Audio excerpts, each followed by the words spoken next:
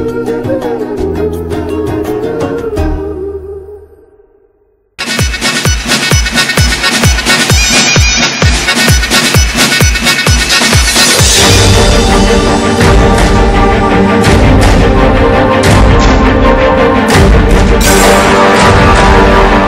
فتح السفر المفاجئ للمدرب البرتغالي جيمي باشيكو وموطنه أنطونيو ناتال يوم الخميس الماضي ملف المدربين الأجانب الذين هربوا من الملاعب المصرية في العقود الثلاثة الأخيرة. الهولندي نول دي راوتر المدير الفني الأسبق للمنتخب الوطني رفض السفر مع الفريق للجزائر لخوض لقاء المنتخبين في تصفيات كأس الأمم الإفريقية في الثامن من يناير عام 1995 وتولى المدرب الوطني محسن صالح المهمة ونجح معه المنتخب في التأهل قبل تولي الهولندي الآخر رود كرول قيادة المنتخب في النهائيات التي أقيمت في ضيافة جنوب إفريقيا من المنتخب للأندية حيث غادر المدرب الإنجليزي الشهير دون ريفي القاهرة عائدا للندن. بعد عدة شهور من تسلمه مهمة قيادة الأهلي موسم 84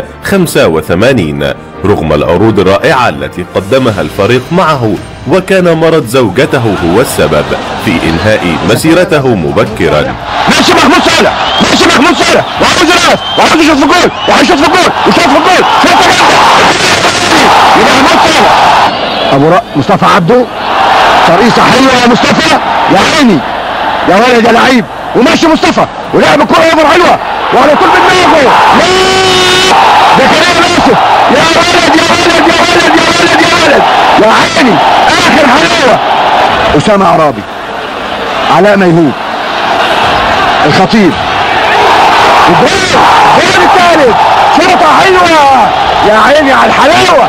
الهر لعيبة صحيح.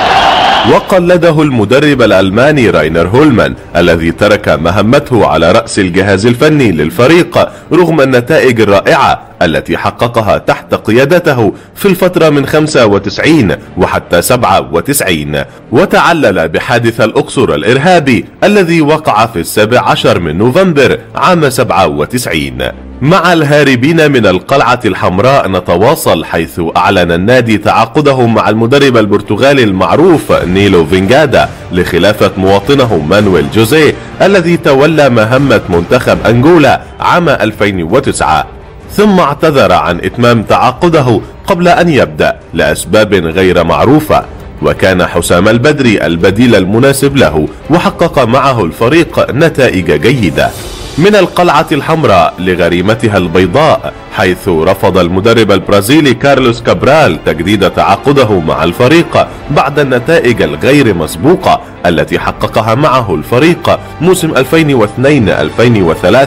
وتتويجه بأكثر من بطولة. أهمها دوري أبطال إفريقيا مفضلا العرض المالي الكبير لنادي العربي القطري. وعلى نهجه سار مواطنه جورفن فييرا الذي أنهى مسيرته مع الفريق الأبيض ورفض إلحاح الإدارة في البقاء على رأس الجهاز الفني بعد أن تلقى عرضا مغريا لتدريب المنتخب الكويتي الذي حاول استنساخ تجربة الرجل مع المنتخب العراقي في كأس آسيا 2007 وجاء فشله في النسخة الثانية والعشرين لكأس الخليج لينهي مهمته مع الأزرق لمصلحة المدرب التونسي نبيل معلول. وإذا كان تصرف الثنائي البرازيلي منطقيا في ظل الاحتراف والبحث عن العروض المادية المغرية فإن ما فعله المدرب الفرنسي الشهير هنري ميشيل يتنافى تماما مع تاريخه وخبرته بعد أن رفض العودة مع الفريق للقاهرة بعد معسكر الإعداد الفرنسي لموسم 2007-2008